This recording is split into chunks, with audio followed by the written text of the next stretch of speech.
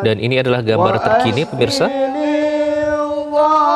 Ada beberapa publik figur yang akan bergabung dalam aksi bela Palestina kali ini.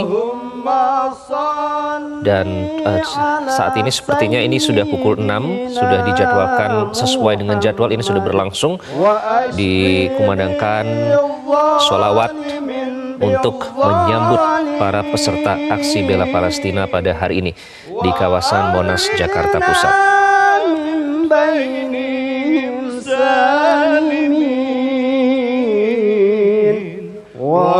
Dan aksi ini akan berlangsung dijadwalkan berlangsung mulai pukul 6 hingga pukul 10 waktu Indonesia Barat. Ini terdiri dari lintas agama, lintas ormas atau organisasi masyarakat, lintas golongan semua diundang untuk mengikuti aksi bela Palestina. Silakan saudara-saudaraku semua yang ada di belakang, ayo kita merapat semua maju ke depan.